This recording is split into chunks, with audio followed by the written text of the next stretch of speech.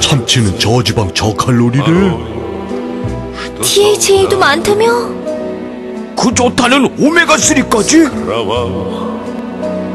세상의 모든 먹거리 참치를 질투하다 참치가 되고 싶다. 바다에서 온 건강 동원 참치